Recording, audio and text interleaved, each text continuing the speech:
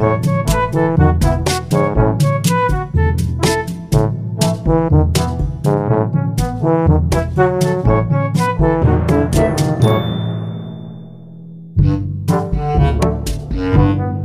was at this moment that he knew. He fucked up.